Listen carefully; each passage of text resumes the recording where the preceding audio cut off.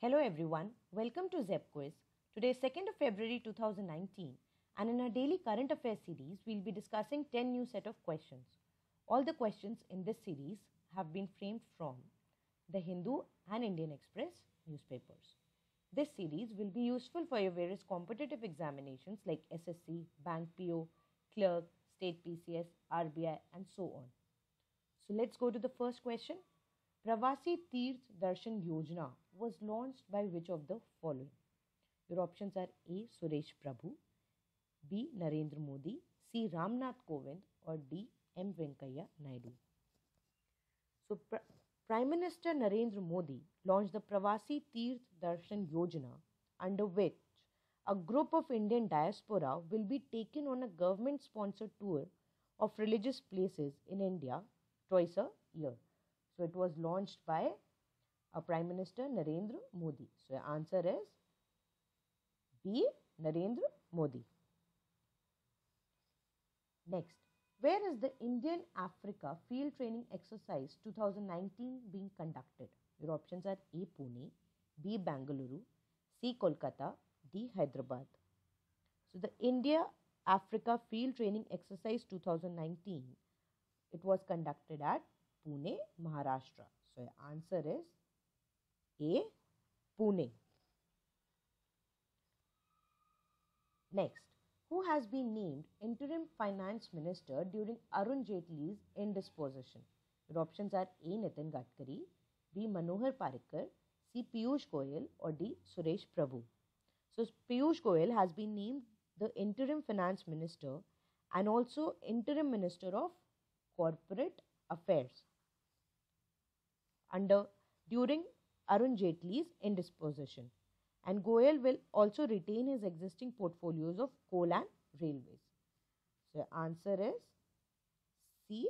Piyush Goyal, and he he'll also be presenting the interim budget. Next, who has been appointed as the MD and CEO of Yes Bank? Your options are A. Rana Kapoor, B. Ravneet Gill, C. Brahm Dutt, or D. None of the above. So, Yes Bank has appointed veteran banker Ravneet Singh Gill as its new MD and CEO. So, the answer is B. Rav, Ravneet Singh Gill. He is Ravneet Gill. Uh, Mr. Gill, that is Ravneet Gill, is currently the chief Deutsche Bank's India operations. He is Deutsche Bank's India operations chief. Now, facts about Yes Bank. Its headquarters is at Mumbai. Next. According to United Nations World Economic Situation and Prospects WESP report, India's growth is expected to accelerate to what rate?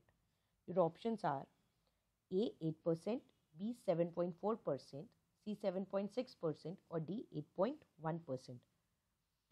So, with robust private consumption and 7.4% GDP growth in the current fiscal, the Indian economy is expected to accelerate at a rate of 7.6% in the financial year 2019 20. So, it is expected to accelerate to 7.6%. So, answer is C. And as per the report, the world trade growth moderated over the course of 2018 to 3.8% from growth of 5.3% in 2017. Next, which state has decided to form a state tiger protection force?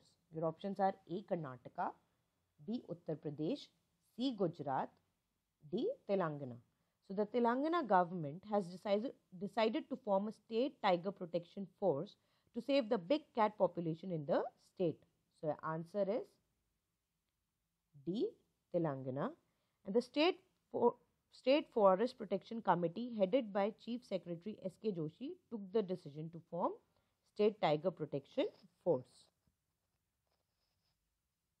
Next, Microsat R, which was launched recently by ISRO, is what type of satellite? Your options are A. Communication satellite, B. Imaging satellite, C. Geostationary satellite, or D. Global Positioning System. So, Indian Space Research Organization successfully launched the PSLV C44, which was carrying Kalam Sat and imaging satellite microsat r. So microsat r is a kind of imaging satellite. So answer is b imaging satellite.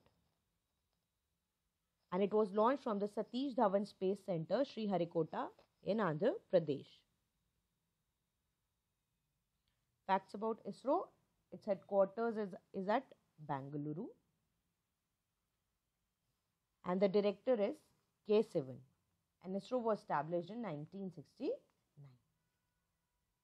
Next, which South African all-rounder has announced his immediate retirement for, from all forms of cricket? Your options are A. Dale Steyn, B. Hashim Amla, C. Kagiso Rabada or D. Johan Botha.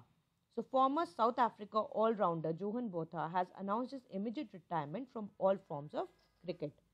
So, the answer is D. Johan Botha. He is Johan Botha, the South African all rounder.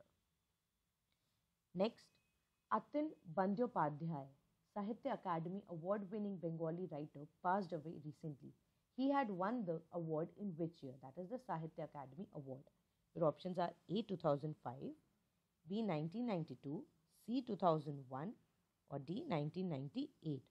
So Atin Bandyopadhyay won the Sahitya Akademi Award for his compilation of short stories Panchas Hati Galpo. It is Panchas Panchas Hati Galpo. He won the Sahitya Akademi Award in the year 2001 and he has passed away recently. Last question for the day When is the National Voters' Day celebrated? Your options are A. January 1st, B. January 25th, C. February, February 5, or D. February 10th. So, 25th January is celebrated every year as National Voters' Day to spread awareness about the necessity of voting and to encourage young generation towards voting rights. Answer is January 25. And the theme of 2019 is no voter to be left behind. No voter to be left behind. This is the theme of National Voters Day 2019. And this is the ninth year of celebrating National Voters Day. And why is 25th January has been chosen as the date? Because it is the foundation day of the Election Commission of India which came into existence in 1950.